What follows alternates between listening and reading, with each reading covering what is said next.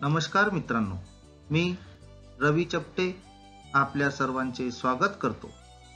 आज आपण समासाच्या चार प्रकारापैकी द्वंद्व समास हा भाग पाहणार आहोत.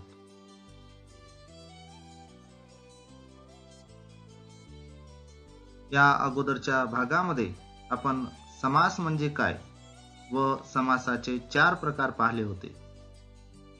समासाचे चार प्रकार कोणते आहेत? तर त्यामध्ये अव्ययीभाव समास तत्पुरुष समास द्वंद्व समास आणि बहुर्वी समास. यापैकी द्वंद्व समास हा भाग आपण आता सविस्तरपणे पाहू.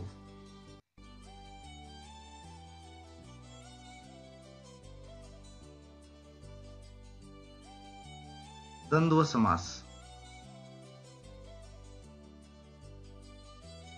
द्वंद्व समास म्हणजे काय? तर ज्या समासात दोन्ही पदे अर्थाच्या दृष्टीने समान दर्जाची असतात व समास तयार होताना उभयान्वयी अव्ययांचा लोप होतो त्या समासाला द्वंद्व समास म्हणतात. द्वंद्व समासात सामासिक शब्दांचा विग्रह करताना आणि व किंवा अथवा या उभयन्वी अव्ययांचा वापर केला जातो. तसेच वगैरे इतर या शब्दांचा सुद्धा वापर केला जातो. थोडक्यात द्वंद्व समासात दोन्ही पदे ही महत्वाची असतात. द्वंद्व समासाची उदाहरणे एका तक्त्याच्या माध्यमातून आपण पाहू.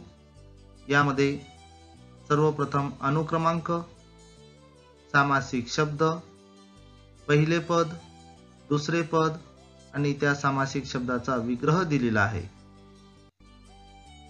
पहिलं उदाहरण पहा. राम लक्ष्मण. राम लक्ष्मण या सामासिक शब्दामध्ये राम हे पहिले पद आहे तर लक्ष्मण हे दुसरे पद आहे. आणि या सामासिक शब्दाचा विग्रह राम आणि लक्ष्मण असा होतो. स्त्री पुरुष या सामासिक शब्दामध्ये पहिले पद स्त्री आहे तर दुसरे पद पुरुष आहे.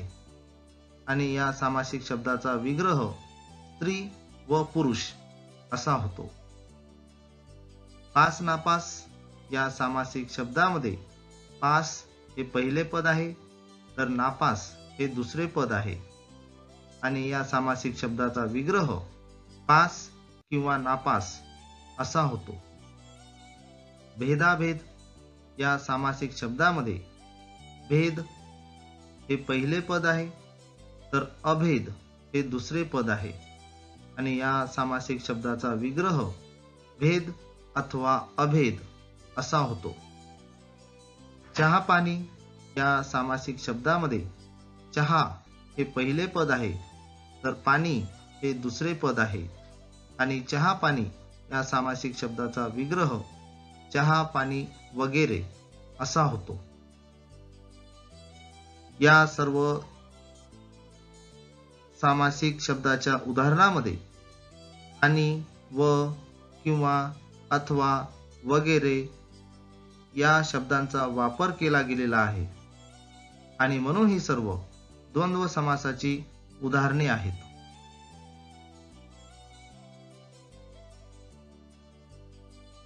आता आपण द्वंद्व समासाचे प्रकार पाहू. द्वंद्व समासाचे प्रकार. द्वंद्व समासाचे मुख्य तीन प्रकार आहेत. इतरेतर द्वंद्व समास वैकल्पिक द्वंद्व समास आणि समाहार द्वंद्व समास. द्वंद्व समासाचे प्रकार. द्वंद्व समासाचा पहिला प्रकार आहे इतर द्वंद्व समास. ज्या समासातील पदांचा विग्रह करताना आणि व या समुच्चय बोधक उभयान्वयी अव्ययांचा उपयोग केला जातो त्यास इतरेतर द्वंद्व समास म्हणतात. इतर द्वंद्व समासात जितकी पदे असतात तेवढ्या कल्पना किंवा विचार मनात येतात. इतर इतर द्वंद्व समासाची उदाहरणे पाहूया. भाऊ बहीण भाऊ बहीण या सामासिक शब्दाचा विग्रह भाऊ आणि बहीण असा होतो. रामकृष्ण या सामासिक शब्दाचा विग्रह राम व कृष्ण पशु पक्षी या सामासिक शब्दाचा विग्रह पशु आणि पक्षी ऊन पाऊस या सामासिक शब्दाचा विग्रह ऊन व पाऊस. अजरामर या सामासिक शब्दाचा विग्रह अजर आणि अमर असा होतो. या सर्व सामासिक शब्दांचा विग्रह करताना आणि व या समुच्चय बोधक उभयान्वयी अव्ययांचा उपयोग केला गेलेला आहे आणि म्हणून ही सर्व इतर द्वंद्व समासाची उदाहरणे आहेत.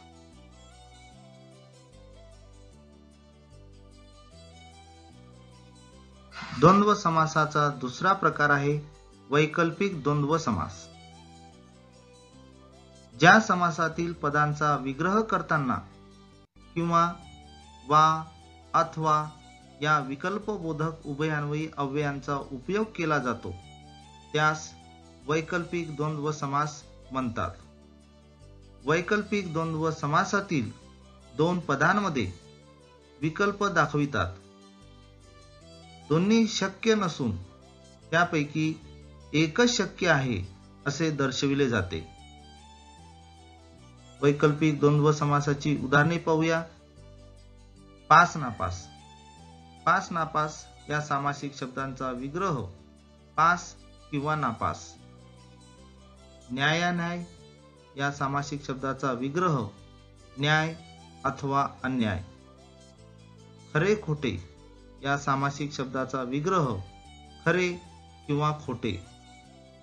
मागे पुढे या सामासिक शब्दाचा विग्रह मागे अथवा पुढे. चार पाच या सामासिक शब्दाचा विग्रह चार वा पाच असा होतो. या सर्व सामासिक शब्दाचा विग्रह करताना किंवा अथवा वा या विकल्पबोधक उभयान्वयी अव्ययांचा वापर केला गेलेला आहे.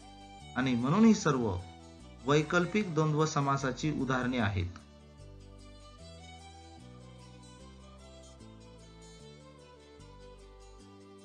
द्वंद्व समासाचा तिसरा प्रकार आहे समाहार द्वंद्व समास.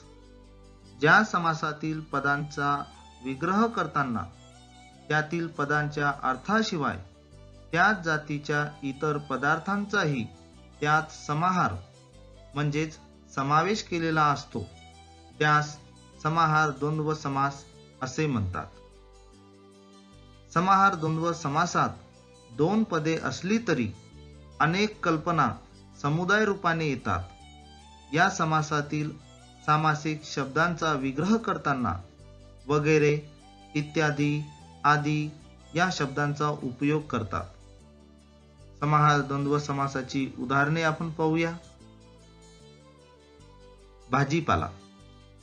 भाजीपाला या सामासिक शब्दामध्ये पहिले पद भाजी आणि दुसरे पद पाला आहे.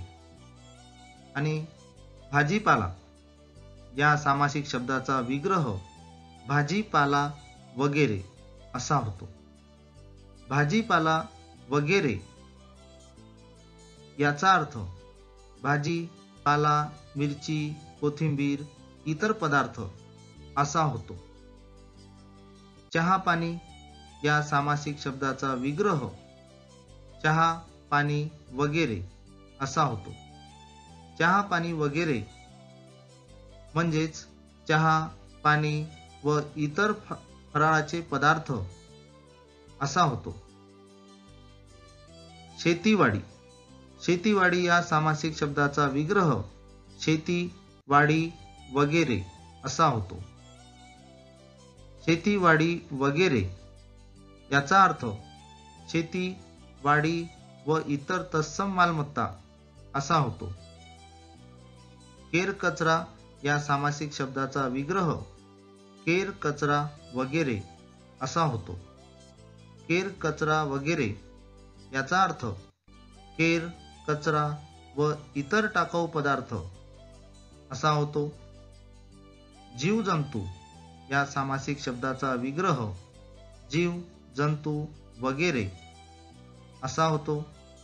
जीव जंतू वगैरे म्हणजेच जीव जंतू व इतर कीटक असा याचा अर्थ होतो. या सर्व सामासिक शब्दामध्ये दोन पदे आहेत. आणि अनेक कल्पना या समुदाय रूपाने या ठिकाणी आलेल्या आहेत. त्या पदांच्या अर्थाशिवाय त्याच जातीच्या इतर अनेक पदार्थांचाही त्यामध्ये समावेश झालेला आहे. आणि म्हणून ही सर्व समाहार द्वंद्व समासाची उदाहरणे आहेत.